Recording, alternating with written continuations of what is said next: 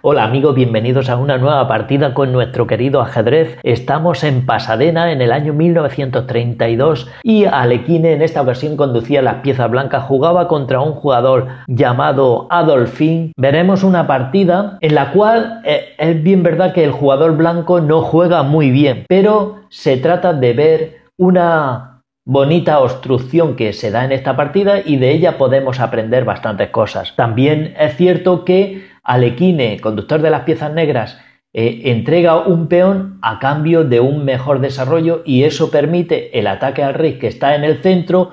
y debido a esta obstrucción gana rápida y efectivamente la partida. La partida es una mezcla entre un gambito escocés y una apertura ponciani y comenzó con E4, E5, caballo F3, caballo C6,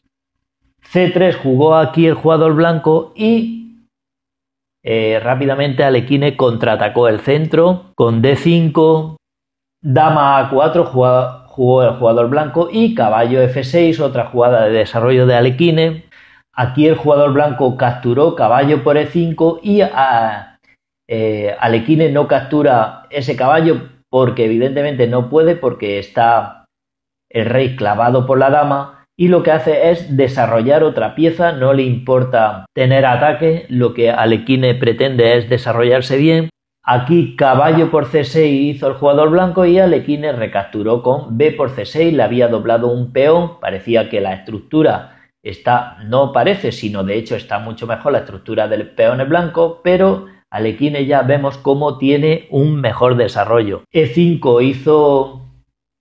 Aquí el jugador blanco para tratar de cuando coman este peón, porque ahora evidentemente está amenazando con un doble a alfil y caballo y cuando coman pues podrán amenazar al alfil y ganar un tiempo. Aquí Alequine capturó y D4 del jugador blanco amenazando al alfil que se fue a D3 otra vez, perdón, a D6. Aquí el jugador blanco que vio la oportunidad de comerse este peón, de capturarlo, se lo zampó tranquilamente y Alequine Evidentemente está amenazada la torre por la dama, lo que hizo es desarrollar el otro alfil atacando a la dama y defendiendo con su dama a la misma vez a esa torre. La dama la llevó el jugador blanco a 6, mirar que ya ha hecho varios movimientos de dama. Si es verdad que se ha comido un peón, aquí en este momento se enrocó Alequine y mirad la posición que vemos el rey de las blancas en el centro, muy buen desarrollo de Alequine, se ha enrocado, tiene todas las piezas menores, tanto los alfiles como el caballo ya desarrollados, preparados para el ataque también por la columna al rey blanco y vemos como las blancas sí que tienen un peón, tienen una buena estructura, pero eso no es suficiente puesto que todas las piezas están sin desarrollar todavía y el enroque blanco permanece inoperativo. Ahora el jugador blanco ya intentó hacer alfil 2 para proceder a su enroque, Alequine movió la torre a la columna abierta y aquí era el momento de enrocarse el blanco, evidentemente, pero no lo hizo y lo que hizo es desarrollar una pieza. Desarrolló esa pieza con caballo de 2 y Alequine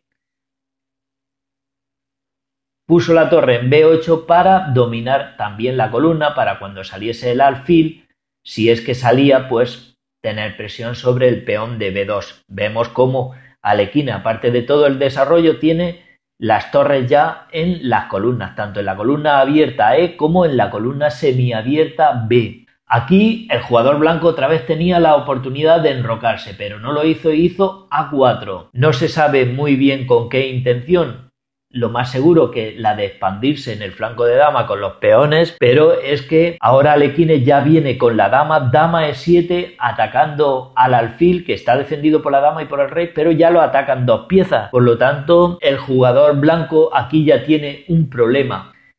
La idea del jugador blanco de cómo defenderse ante esta amenaza fue hacer caballo F1, tremendo error, para luego caballo e3 y se habrían acabado sus problemas si pudiese conseguir esta jugada y llevar el caballo a E3. Quizá esa fue su idea, pero Alequine lo castiga rápidamente cuando hace caballo F1 y lo que hizo es una grandísima jugada aquí Alequine, a ver si sois capaces de encontrarla. Ese alfil está atacado dos veces, lo defiende rey y dama, y podéis parar el vídeo un momento e intentar adivinar esta jugada que hizo Alequine que nos enseñará cómo se hace una obstrucción. Hizo alfil B5, mirad este alfil está atacado por el peón y en este momento las blancas se rindieron, puesto que este alfil que está protegiendo al rey está atacado tres veces por dama y torre y evidentemente no se puede parar. Ya al jugador blanco no le ha dado tiempo a hacer caballo 3 puesto que tiene amenazada también la dama y no se puede hacer esa jugada. Si alfil E3 cae la dama. Evidentemente si capturan el alfil cae la dama también, o sea que no se puede capturar. Y si capturan el alfil con el peón de la columna A, lo que hacen es que su propio peón obstruye a la dama, la defensa de ese alfil queda desprotegido y viene dama E2, jaque mate de Alequine. Bien amigos, si os ha gustado este vídeo, darle me gusta, os podéis pasar por la tienda también y comprar un tablerillo de ajedrez que ahora ya hay algunos que están muy bien de precio y sin nada más, nos vemos en el siguiente vídeo. Un saludo para todos amigos.